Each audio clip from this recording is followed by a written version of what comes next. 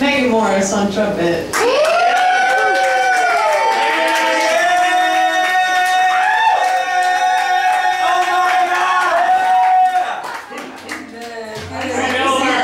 Her face